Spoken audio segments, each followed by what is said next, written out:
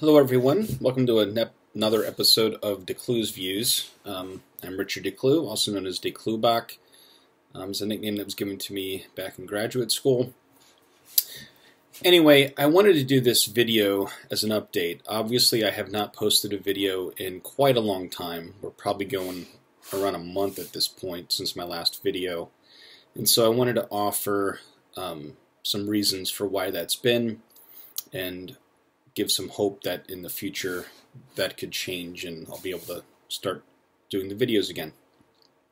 Um, the main reason, as many of you already know, I've been trying to finish my doctorate for some time now.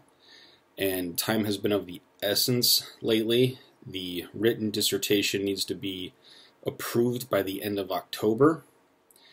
And then the Lectio and the defense need to take place by the end of November. And so I just kind of wanted to share with you that process and what's been going on.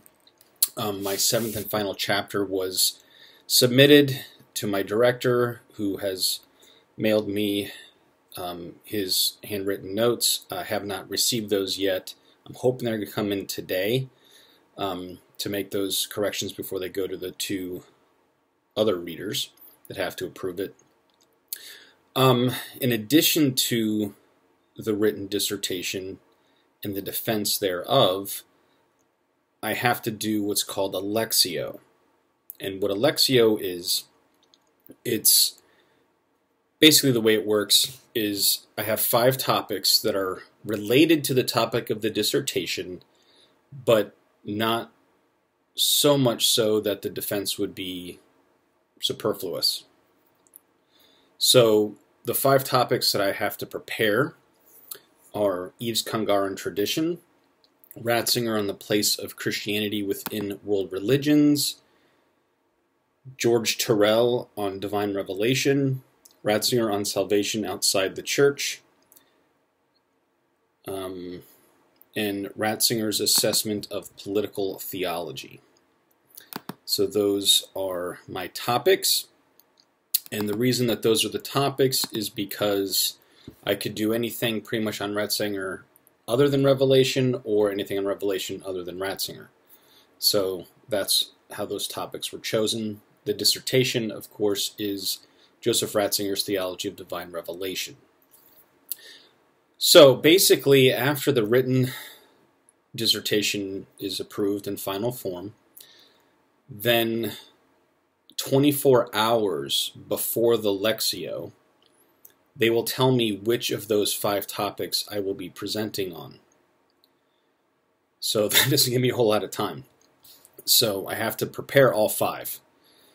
And once they tell me which one it is, the next day I will give a presentation followed by um, questions and answers from the dissertation board.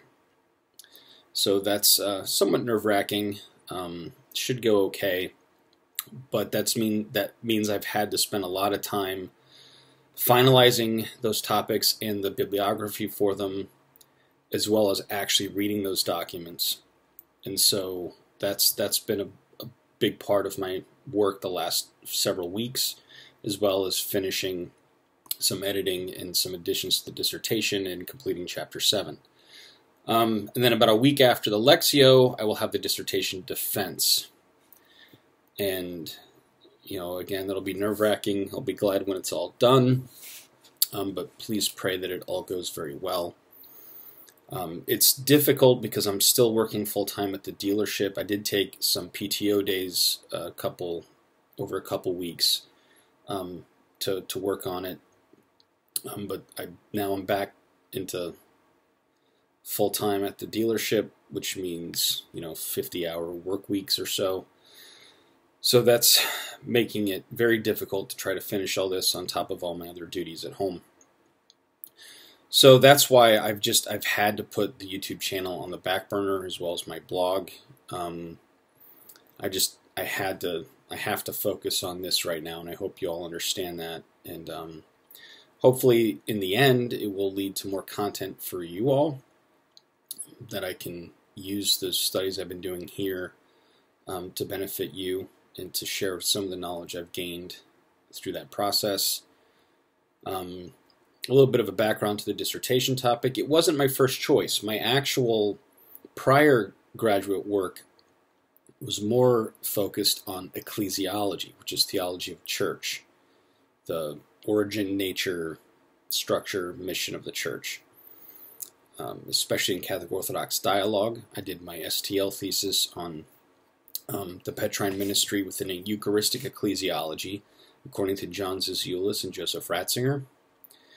Um, so it was trying to tackle um, Catholic Orthodox dialogue regarding the papacy from a Eucharistic perspective, since we share Eucharistic ecclesiology.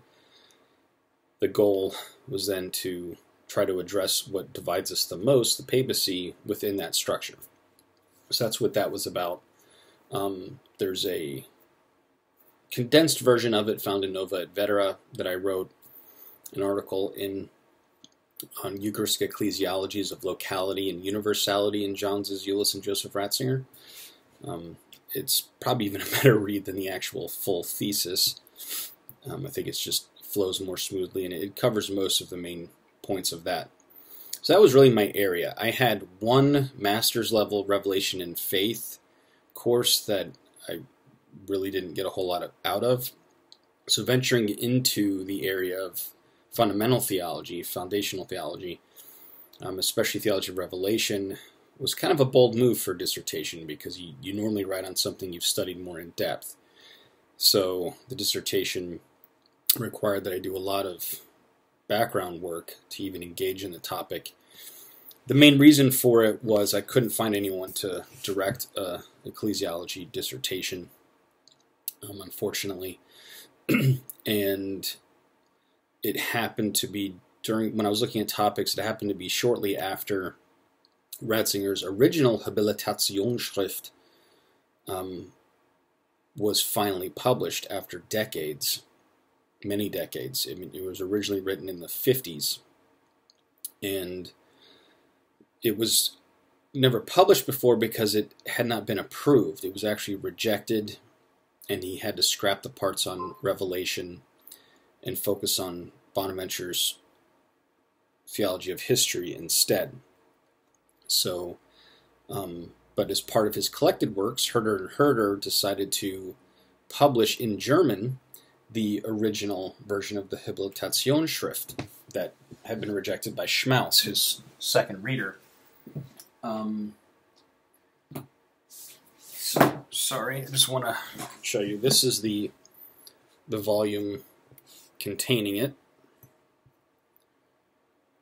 It's uh, probably can't see that. Um, anyway, it's part of his collected works. It's all in German. There's no English translation, so that also was a challenge. I'd say about 85% of my dissertation sources were from German texts, as far as volume at least.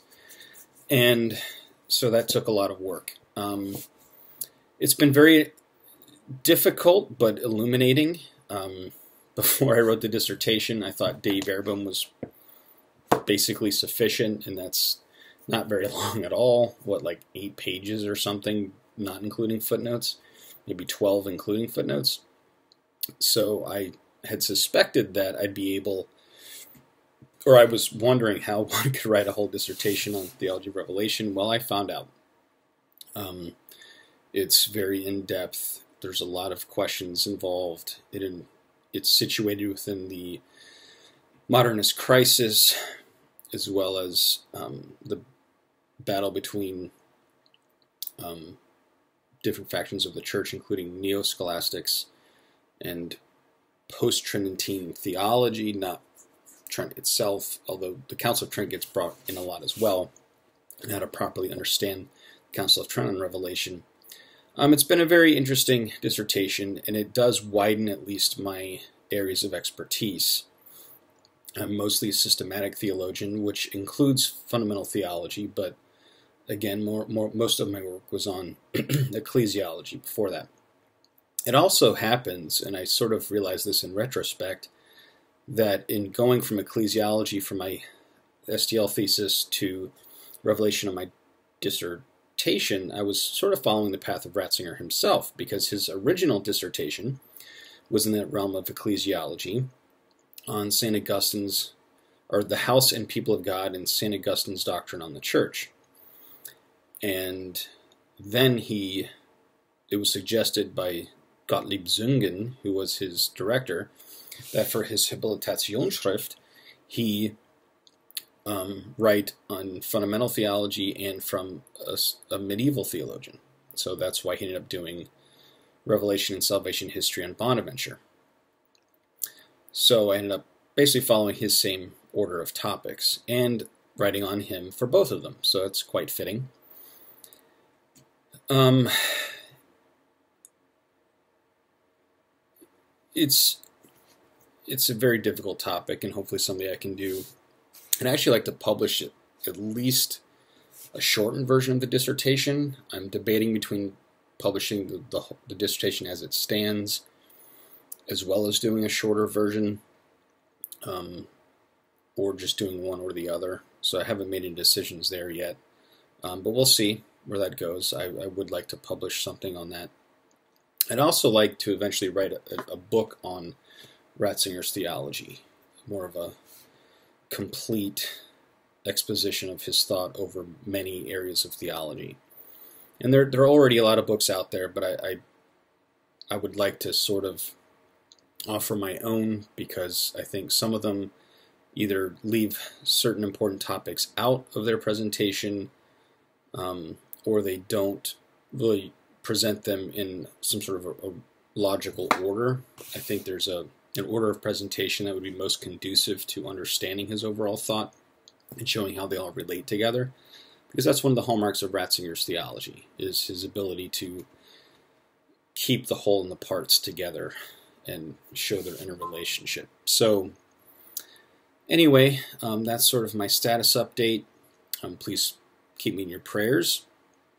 Um, I'd appreciate it. Um, the next month and a half or so are going to be rather intense and um, hope that I can find the time to do a, a, good job on all of these things.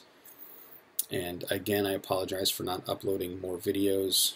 I've just had to focus on this. I, I, I hope and pray that you guys can understand that and appreciate it. Um, but, you know, uh, my prayers are with you. I ask for your prayers for me. And may God continue to bless all of us and shed his light upon us. God bless.